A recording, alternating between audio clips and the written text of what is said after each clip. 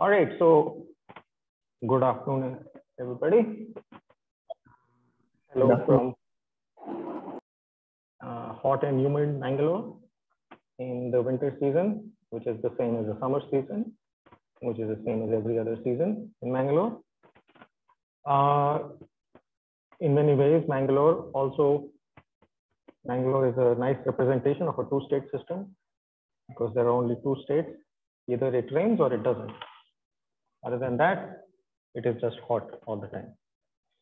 But I hear it's still not as bad as Chennai. Excuse me. So, in the previous lecture, I talked about representation theory. Uh, now, for some of you, maybe for many of you, uh, representation theory might be a little bit uh, abstract, but then you are physics, MSc physics students, and uh, if you didn't want to, if you were afraid of abstract things, then you would have gone into something else like an MBA, right? So let me just remind you what representation theory is again all about. It is about understanding, so we have these objects called groups. It is about understanding um, on what sort of spaces do these groups act, right? So group by itself does not really have any meaning. A group becomes important when you understand the action of a group on a particular kind of, a, on some sort of a space. So for instance, if you think about the rotation group, well, how does the rotation group act on vectors in three-dimensional space? Right. So as an example, in two-dimensional space, it just acts by multiplication by such a matrix, which is an orthogonal matrix. Orthogonality implies that it is equal to, um, so when we say, when we say O here, O means orthogonal, and orthogonal means um, that the inverse of the matrix is equal to the transpose. So if you remember, we have unitary matrices, right? Unitary matrices. What is the property? That A Hermitian adjoint is equal to A inverse, right? Hermitian adjoint is what? Transpose conjugate. So here we only have transpose, not conjugate, because these are real matrices. So if you want, you can think of them as real unitary matrices. The complex conjugate doesn't do anything because they are real. This S means special, which means that the determinant uh, of the matrix is equal to 1.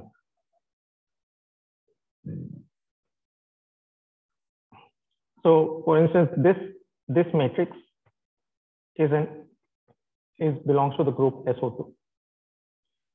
And now, so these matrices themselves do not correspond to group elements. They correspond to a certain representation of a group element. So this corresponds to a certain element of, of the group SO2. It is a representation of the of, of that element. And that representation acts on a certain vector space. In this case, our vector spaces are two-dimensional space. Right. So, right, and and group uh, groups satisfy this this set of axioms, right?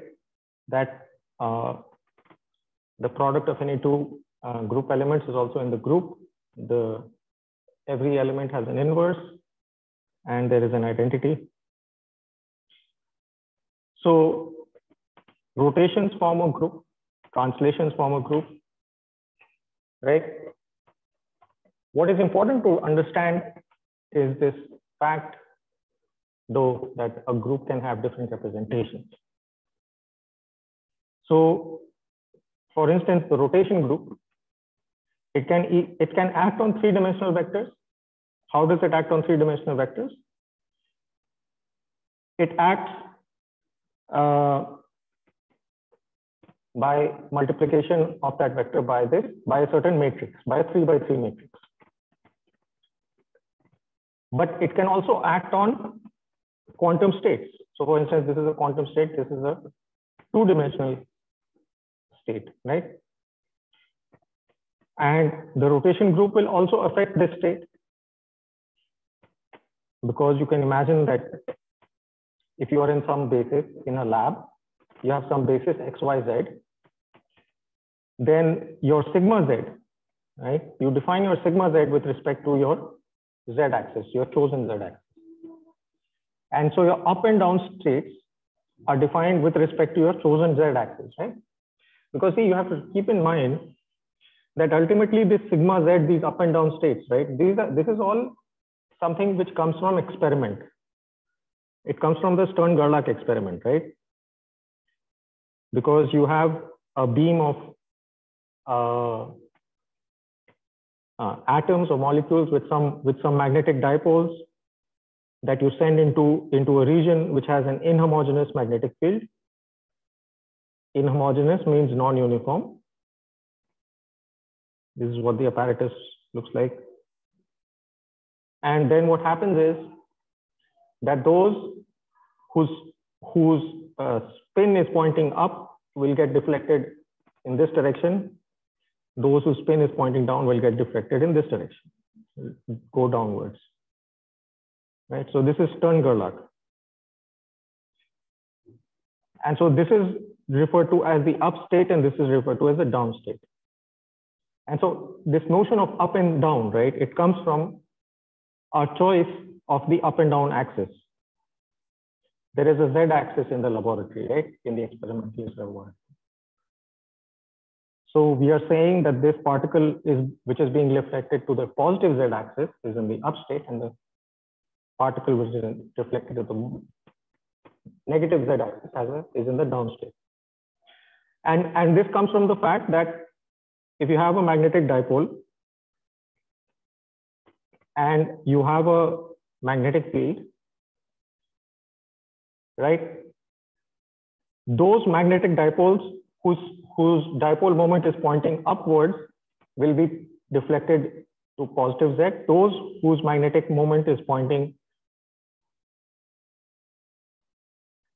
downwards will be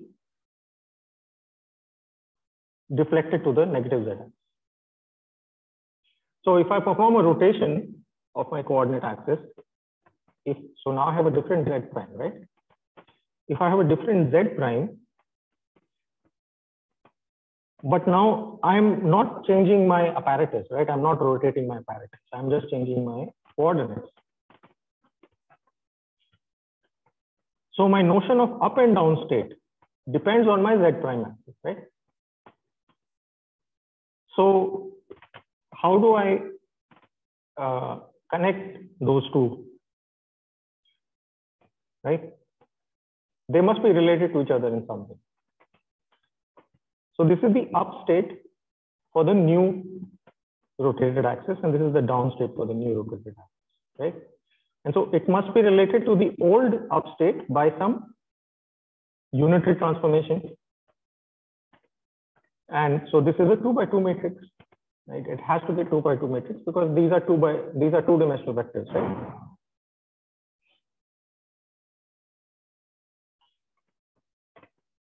Now these unitary matrices, if you perform two two rotations, then there should be a second unitary matrix, and you should be able to combine those two matrices in this way, right? So these two by two matrices they will form a another representation of the same group. Which group? The SO, SO3. Right? Even though these are different mathematical objects, right? They are two, two by two matrices. They form the representation of the uh, same group. Right? So these R matrices for the rotation, they form a three-dimensional representation. U matrices form a two-dimensional representation. right? And then angular momentum operators that we have looked at, Lx, Ly, Lz. How do they act? They act on functions. And functions you can think of as infinite dimensional vectors, right? Because a function, so you can think of at each coordinate point in space, the value of, of, of that function is like the component of a vector. Right? So a function has an infinite number of points, so there are an infinite number of components.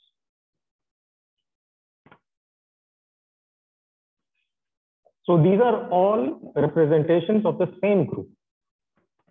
And how do I know that? I know that because these, these operators, which are called generators, they all obey the same group algebra.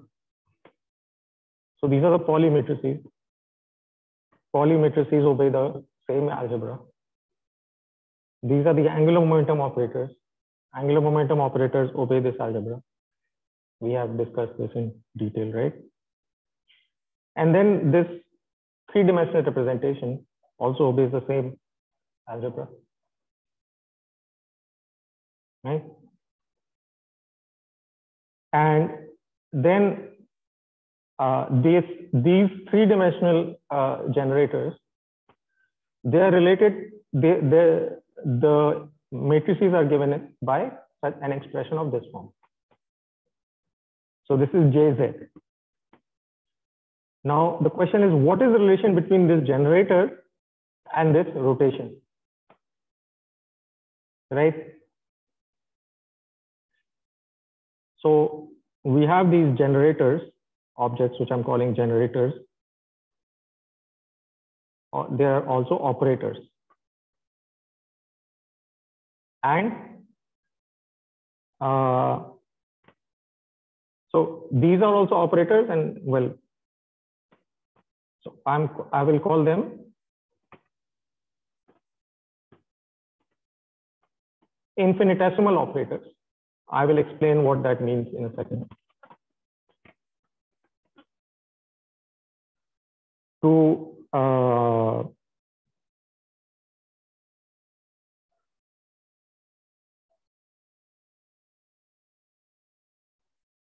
which are finite operators. So what is the meaning of this generator and rotation, infinitesimal, infinite, and so on? So let's look at this.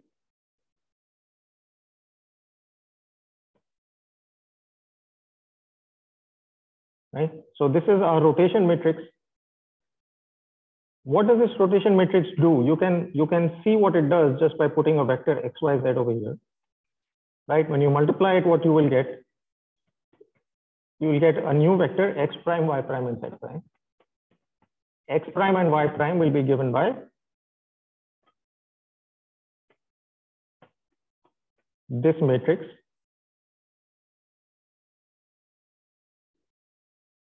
times xy, right? And then z will not be affected. So what does this correspond to? This corresponds to a rotation around the z-axis, right?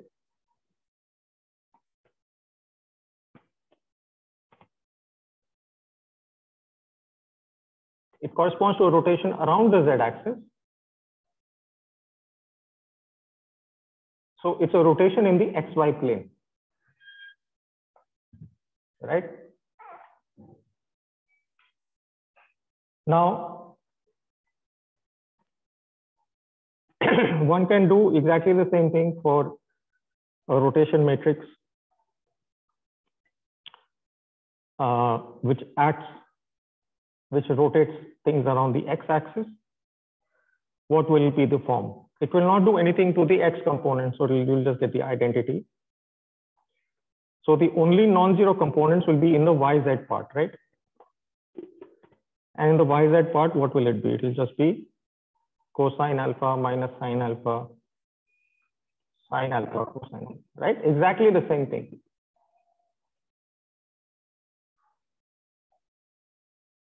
And then you can also write down rotation in the in the y direction. Right? Now the matrix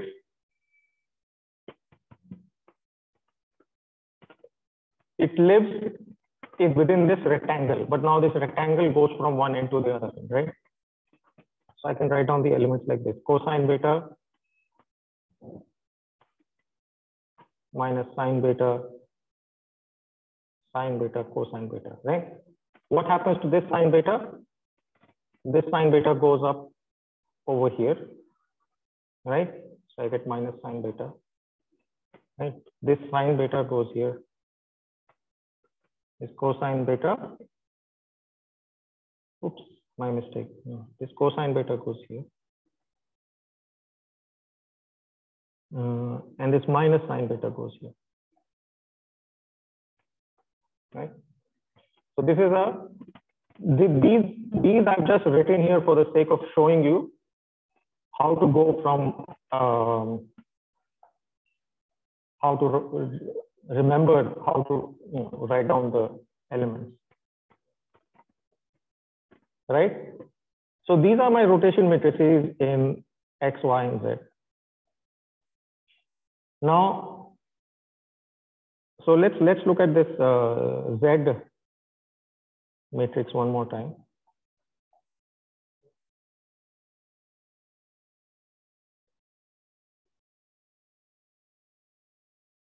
Okay.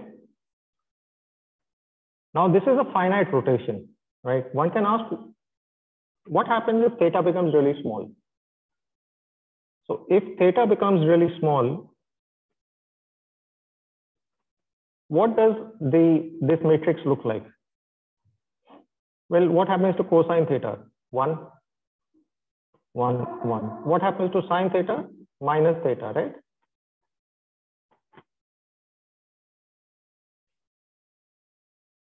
So I can write this rz theta. When theta is much less than 1, rz theta I can write as, as this expression. Let me write it down again a little bit more clearly. Right? I'm just taking the infinitesimal expansion of the sines and cosines, right? Now I can write this as 1, 1, 1. That's the identity. right? Plus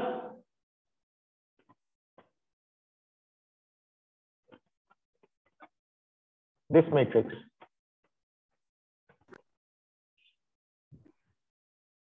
Right? So this is what? This is the identity. And this is a small change around uh, to the identity, right? And if you look at this matrix and you, you see that you can write that matrix, you can write this matrix as minus theta jz. No, sorry, plus theta jz. Right, where z is this, jz is this matrix with constant components.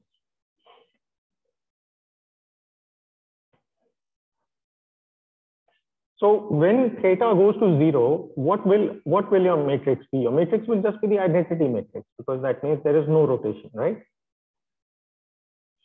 So if you perform a very, very, very small rotation, then you are very close to the identity. Now you're not doing much, you're just changing very little.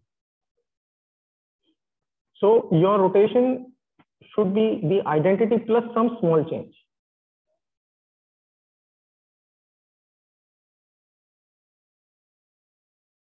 Right? Because it's like, remember that when you take a Taylor series expansion, right? What do you say? f of x plus delta x.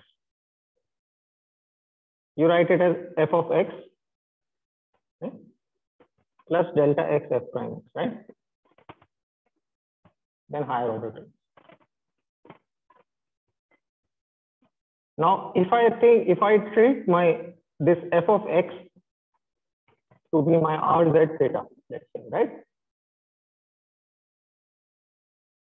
Then I, I want to expand around zero. So rz theta will be rz0. What will this be? This will be the identity, right? Plus theta and write delta theta now, just to indicate that it's a small parameter.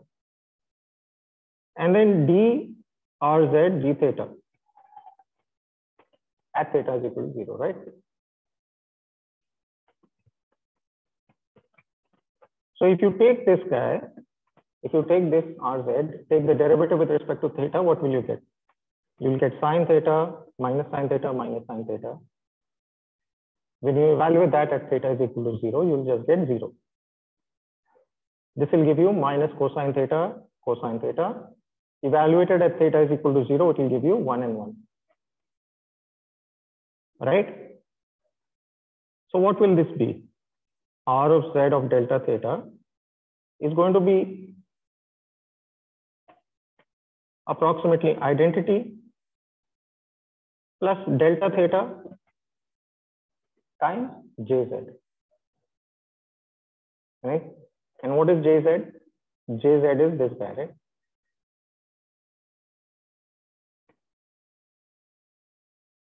So it's just the same as the Taylor series expansion of a function right? Only thing is that instead of a function, we are looking at a at a matrix. So you can do the same thing with the other matrices. So you can write Rx delta theta, or let me this alpha as identity plus delta alpha jx and then ry delta beta is equal to identity plus delta beta jy. Okay, and what are what is jx and jy? jx will be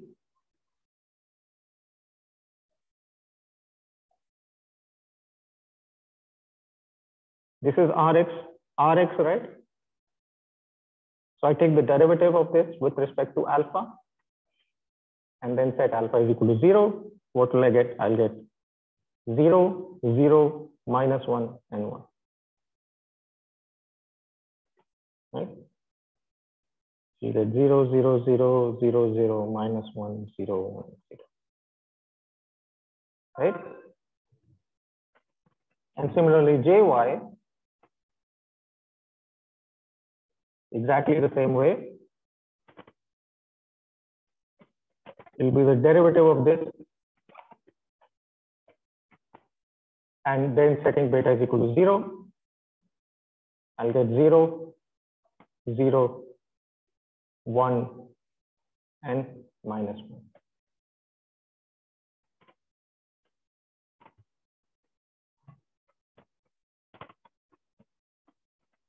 So this is Jx, this is jy, and then just for completeness, I'll write jz on here.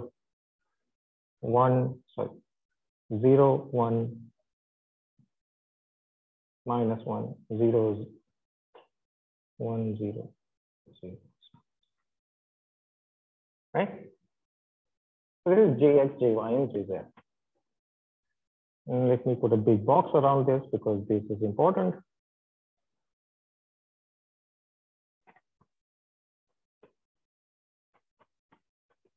And please note that uh, in the coming semester, I'll be teaching uh, mathematical physics, right?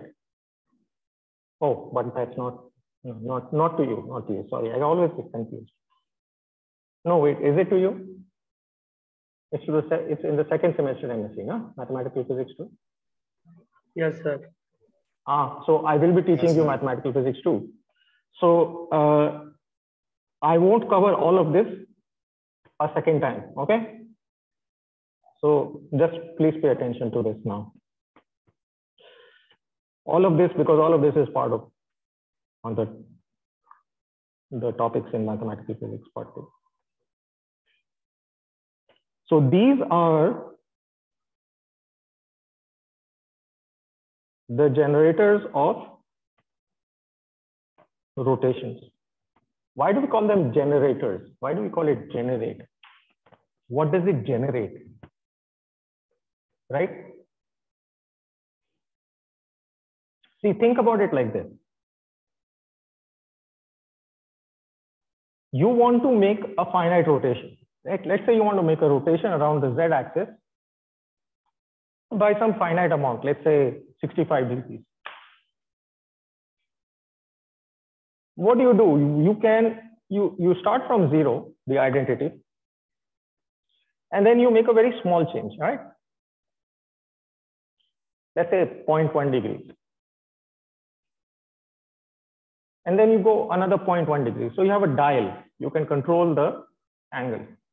Right? So you change the dial very, very, very slowly. So what are you doing? You are you are doing the following, right? So if you want to go from zero to theta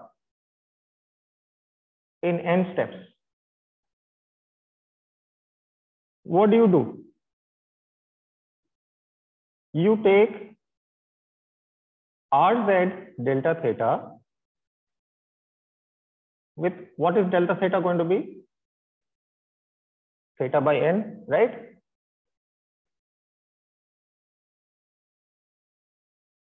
So you want to go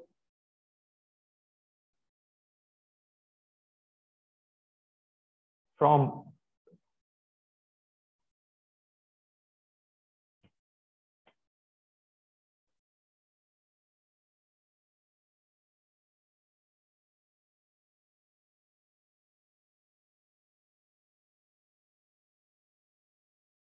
right?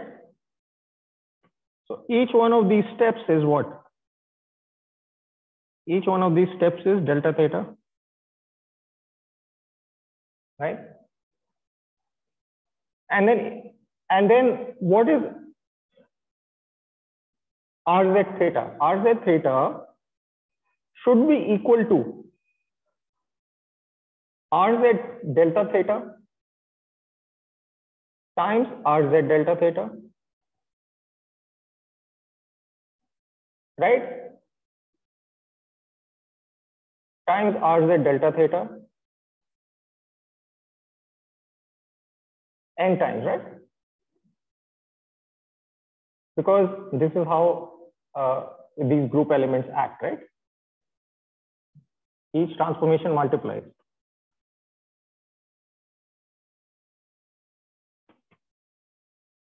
Right?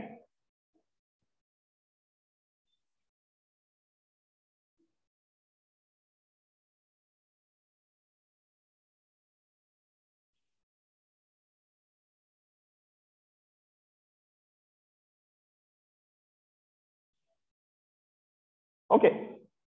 So, and this should be approximately true.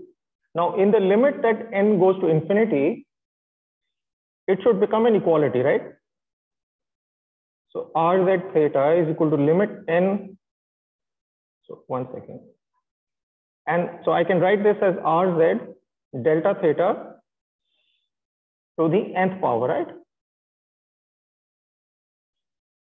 And in the limit that n goes to infinity, this should become an equality, right?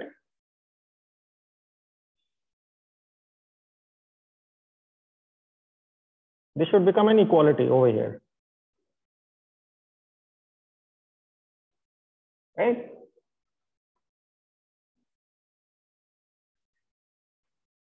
Okay.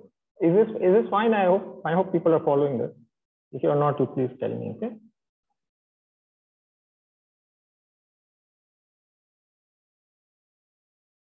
Now, let's look at this RZ uh, delta theta once again. What was it? It was identity plus delta theta times jz, right? So identity plus theta by n times jz, right? And we have the rz delta theta, rz theta is that limit n goes to infinity. rz delta theta to the nth power limit identity plus theta by n jz to the nth power. Right? Now, does this expression look familiar to any of you? Have you seen this expression earlier in any of your mathematics classes, maybe, or somewhere else? Yes. Huh? Who was that? Sorry, I didn't. Who said yes? I didn't catch that. Anand, sir. Anand. Acha. Anand. Ah, so Anand, uh, so what does this remind you of? So one plus theta power and uh, something plus power and if that Uh-huh. uh, is very small, then one plus n theta or n into that quantity. Say that again. One plus n times theta by One n plus one plus n times theta by n. to jz. Uh, no, no. I'm not sure that. Uh, let me let me. Uh,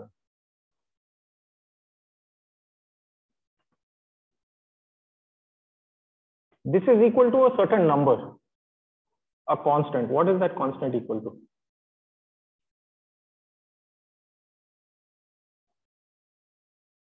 Anybody remember this? You must have learned this, huh? one, No. so two, It's equal to one two point seven one eight two eight. Um,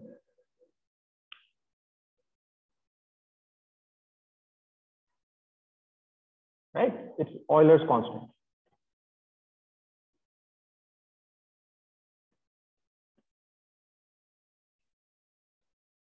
So if you take this expression, 1 plus x by n. Let me make sure that I'm not doing this correctly.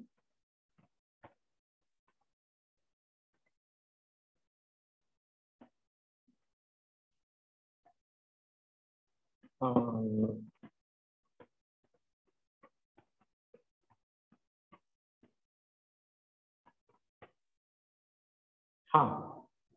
To the power n, now I can put this expression in the same form as the first one in the following way. I can divide by x over here.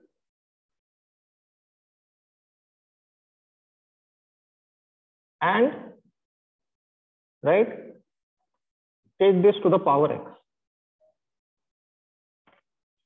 Now this quantity inside the curly brackets, right, this quantity I can write as follows.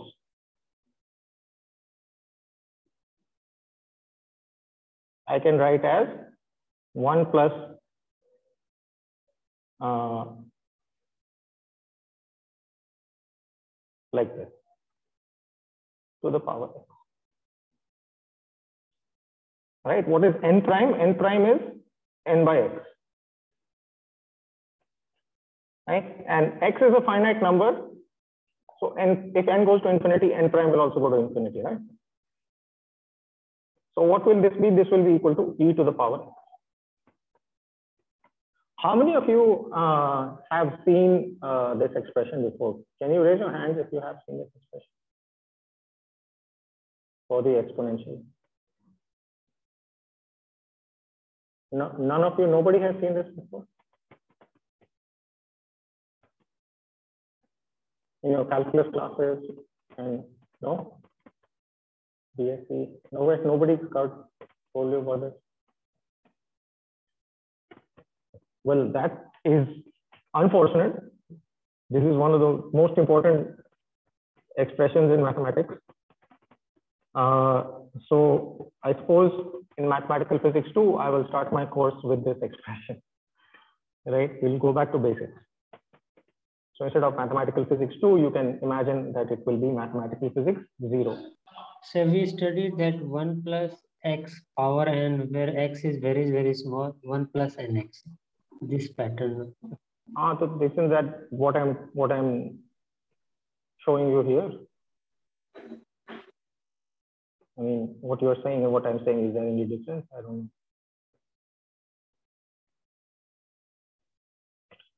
Anyways, so if you look at this expression over here, rz theta, it behaves in the same way, sort of. Only difference is that instead of numbers, you have matrices, right?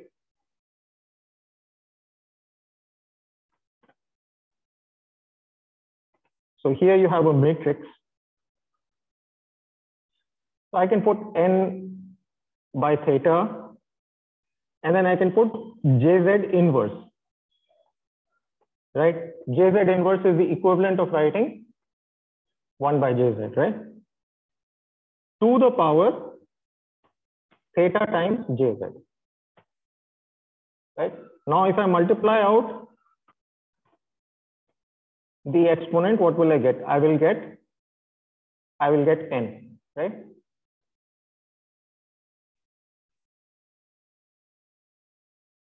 And this I will, this is again the Euler constant. So this I can write as e to the power theta, theta times j.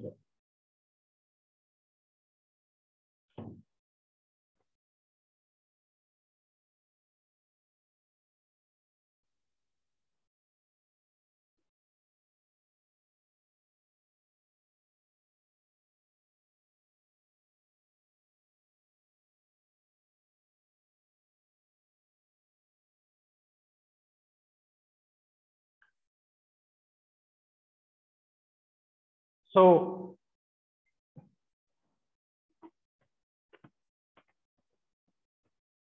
I might have made some mistakes. So let me make sure that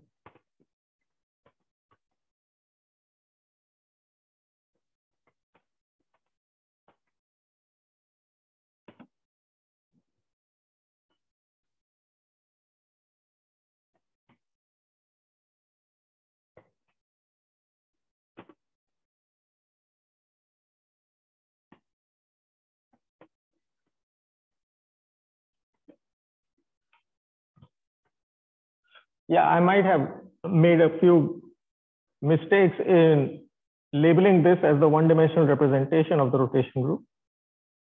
That, that I might be wrong about that. But anyway, the fact is that this Jz, it generates rotations. Okay, you can work it out explicitly. And so this I will leave as an exercise for you.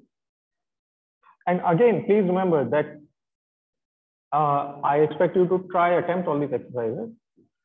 And if you cannot do any of these exercises, right? If you cannot do one or two or even any of them at all, you should come and please talk to me, right? Ask me for help. Okay. So this is an exercise. Show that this is equal to this expression by expanding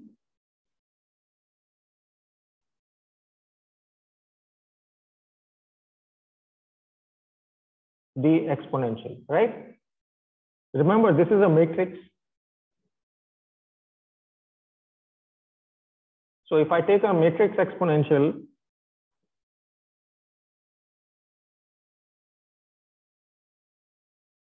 right? This is the matrix exponential. So if I expand this,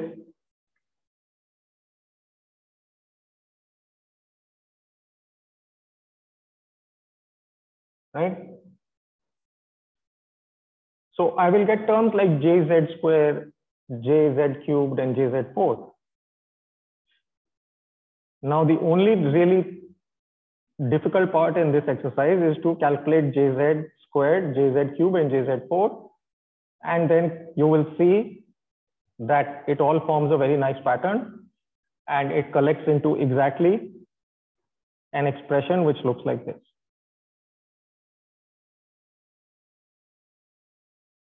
Which looks like this.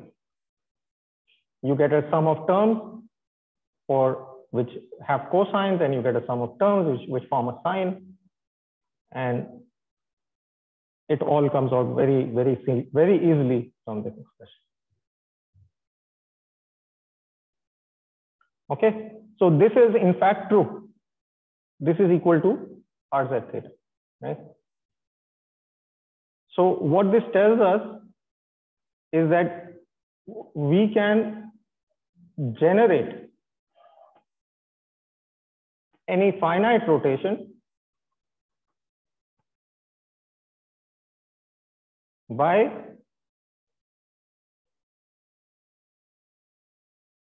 exponentiating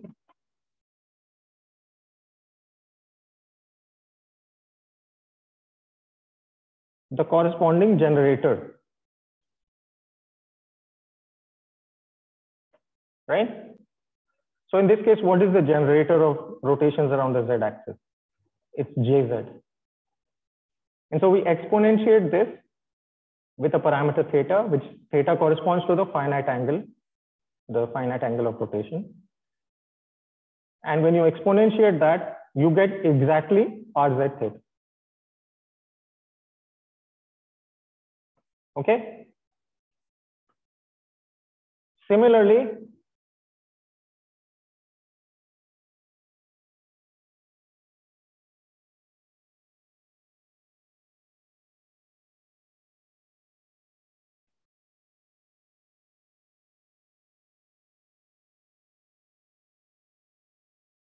you can show that this is true for the x and y rotations also. Uh, once you do this, this part, uh, the other two should be, uh, you should be able to just, well, you know, you should not need to do them, do the whole thing again. All you need to do is to calculate jx squared, jx cubed, jx fourth, and that is really not very difficult because these matrices are very simple, right? So calculating jz square and jz cubed and jz fourth is very easy. And you will find that that is all you need. You don't need um, jz to the infinity because the pattern will repeat after that. So these are the generators of rotations in three dimensions. Okay. Similarly, the generator of rotations uh, for spin one half states, right, for up and down states. So if I rotate something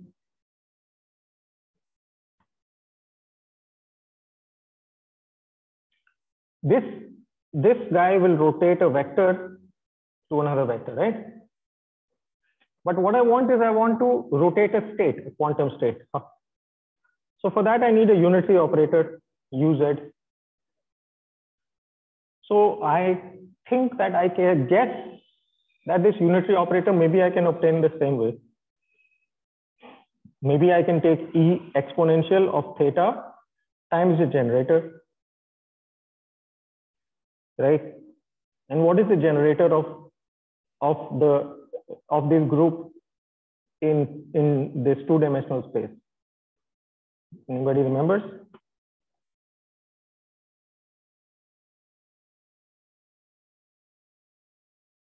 Anybody remembers? No? These are Pauli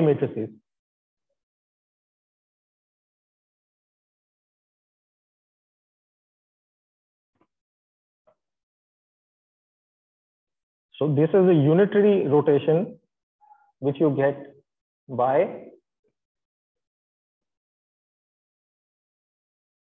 exponentiating the generator. Why do I have a factor of i over here? I have a factor of i uh, well, so that this becomes a unitary meter. Okay. And uh, what else? Yeah. Now, one more last point. What happens if I go around, uh, if I rotate by an angle of 2 pi, what should I get as my rotation matrix? Anybody?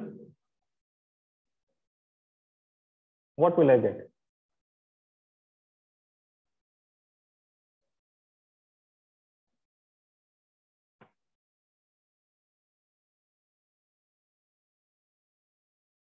It will be the identity, no?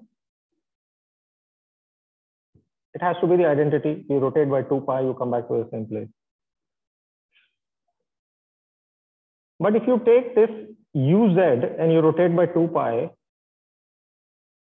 right? Then you don't get the identity. What do you get? You get minus minus of the identity.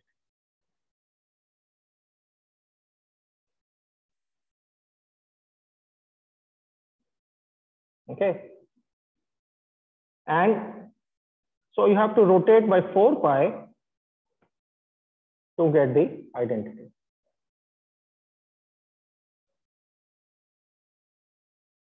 Right. So this is related to uh, the, the spin, the fact that these particles are described by spin one half. Okay, well, I'll, I'll, I'll stop here. I think this is enough for one day.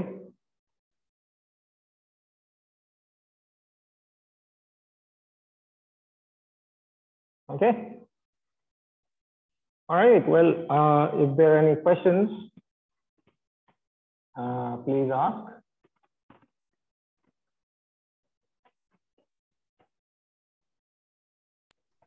So excuse me, Huh? Uh, in which book we should go for the reference of this part? Which Book. which book?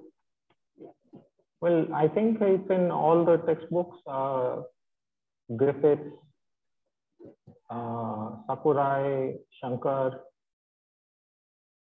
It's in all of them. You want you want me to give you like the specific like pages and all that? I can do that. I mean, if you have difficulty finding that. Uh, yes, sir.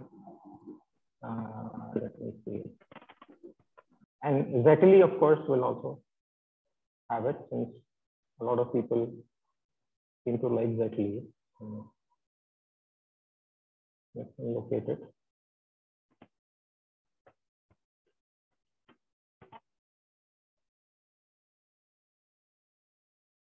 Zettili.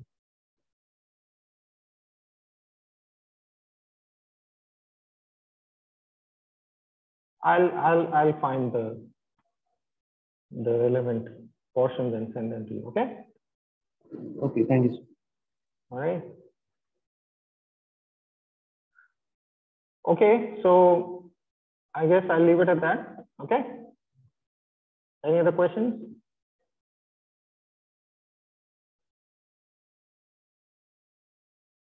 All right, then I'll uh, see you all on Wednesday. And uh, let's try to make it at 2 p.m. if that's okay with everybody on the remaining days, Wednesday, Thursday, Friday, 2 p.m. All right. Okay, bye-bye. Okay, so bye. Bye, sir.